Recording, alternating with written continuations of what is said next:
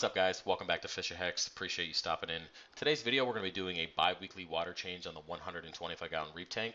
I'm going to discuss a couple methods that I've just started to try out regarding micro bubbles, not only to clean the reef tank during the water change, but to clean it on a daily basis. And then finally we're going to be cleaning the filter socks for the first time in six months. So let's go ahead and get into it. As with every water change, I go ahead and I start off by cleaning the glass with a razor. Now I officially stopped cleaning the back of the tank because my blue Linckia starfish spends the majority of the day back there, and I feel that's what's keeping him alive and growing. And basically, if you guys know anything about these starfish, they don't really do well in aquariums. They tend to die off very quickly because they starve to death. Now I've had him for about six months. He has definitely grown over that time and I just want to not mess with a good thing and I'm going to have to deal with the looks of the back glass being dirty. I, I personally don't like it, but if it's what it takes to keep him alive and healthy, then it's just something I'm going to deal with from now on.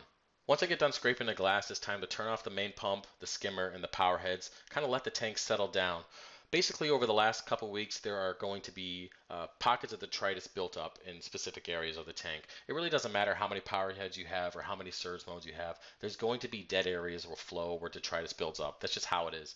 Now, because I have a bare bottom tank, it's particularly easy to clean. I just go ahead and take the siphoning hose, grab in uh, a five gallon bucket, and I just go ahead and I suck out as much of that detritus as I possibly can, getting the majority of it out uh, before I go ahead and I start blasting the rocks with the power heads.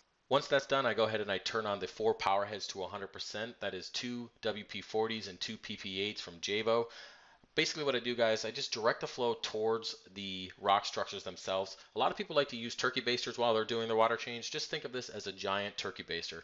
Um, I tend to get better results than using a turkey baster and what it really does is it, it just kind of blasts the colonies. It gets the detritus that might be in between the bird's nest and underneath the montes and gets all that detritus that's underneath the rock structure as well and it pretty much puts it into the water column. Not only where it can be picked up by the filter socks, which by the way I use two to three filter socks during a water change. That's how much detritus is kind of floating around there.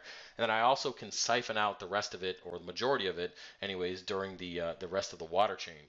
As you guys can see, I'm using the power heads to inject microbubbles into the reef tank, and then I direct that flow at the rock structures and coral colonies themselves. Now, you might be asking yourself, why the heck am I doing something like that? Now, I have an in-depth video coming out here in the next couple days on how to implement microbubbles, the benefits of them for a reef tank, and all that good stuff. So that video will be coming out soon, so look forward to that. But to sum everything up, microbubbles are used to uh, clean coral, particularly acroporas, and to pick up detritus from the reef tank. Uh, the whole concept is uh, you inject microbubbles into the reef tank. The microbubbles themselves attach themselves to the mucous membrane of acropora, to detritus, to rock structures, to uh, algae, all that kind of stuff. And then what it does is it pretty much essentially lifts it up, brings it to the surface of the water, which then it can be mechanically filtered out through your filter socks. Now, I have been doing this on a daily basis via the Apex for the last two weeks and I have seen a great increase in how often I have to clean my filter socks. Before it was every three days, and now it's literally every day they overflow, which indicates I'm definitely picking up more detritus and clogging the filter socks. But that video will be out, like I said, in the next couple days, going to great detail on how you can implement that on your reef tank if you so choose. Now with that said and done, let's go ahead and move on to cleaning the filter socks. As you guys can see, I have a ton of them here in this brute trash can. Now I just got sick of cleaning them on a monthly basis. It just got really old. I didn't want to deal with it. Um, call me lazy, who cares? Basically what I did, guys, is Jo-Ann Fabric had a huge uh, felt uh, fabric sale a few months ago, so I just made like 200 of them, knocked it out in a couple days, just got it done, and I'm thankful that I did. Basically, what I'm doing, guys, I'm changing them out every day, every other day or so, and then I put them in um, outside in a five-gallon bucket, put cover on it, and let them sit until pretty much all of them are used up. Now, once that's done, I go ahead and I take those buckets, I put them in this big 20 gallon uh, container, and then I just let it sit in hot water and bleach for a couple days, kind of breaking up all that nastiness, and then uh, do a couple rinse cycles with that. Once that is done, I go ahead and I add them to my washer with uh, more bleach and hot water. I let it do a couple clean cycles on heavy uh, at least a heavy load or so.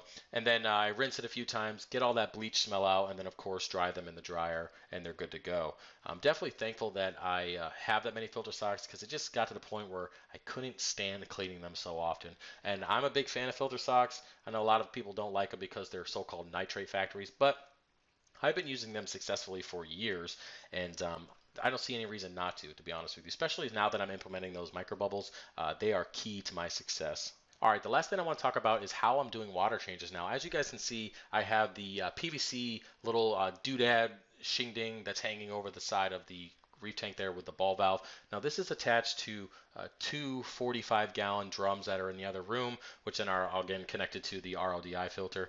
Uh, basically, I am using this now with a 50 foot hose to do water changes on every single tank in the house, uh, no matter where it's at. I have plenty of hose, and it really helps not only with doing the water changes, but filling up auto top off containers. Uh, since I'm using the 20 gallon auto top off container on the main display, uh, obviously I can't carry that around. So uh, using a hose with this fitting and the controllability of the flow is definitely awesome and makes life a lot easier when it comes to doing water changes. So if you haven't uh, made one of these things, uh, I suggest you go ahead and do it. If you guys want to see an in-depth video on how I do all my water change setup in my uh, RODI containers and all that stuff, let me know. I'll do that. But uh, keep it simple. Uh, make the PVC adapter, put a ball valve on it, attach a hose and a pump, and make life easy when it comes to doing water changes. Well, guys, that's about it for this video. If you have any questions, you can go ahead and put them in the comment section below, or you can contact me directly on the FishOfHex Facebook page or our uh, Building a Successful Reef Facebook page, uh, pretty much designated for subscribers um, on this channel. Either way, guys, if you like the video, give me a thumbs up. Don't forget to subscribe for more, and I'll see you next time. Peace.